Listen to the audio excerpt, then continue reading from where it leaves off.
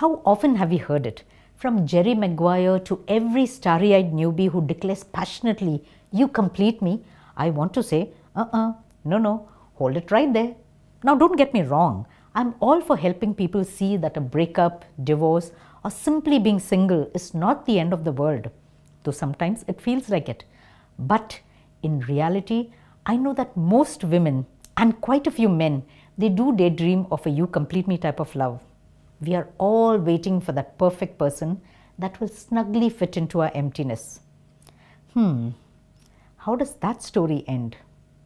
Head over to my YouTube channel and catch the entire episode on how to attract the right love into your life. And while you're there, subscribe and press the bell icon. I release a new video every Friday. You don't want to miss it.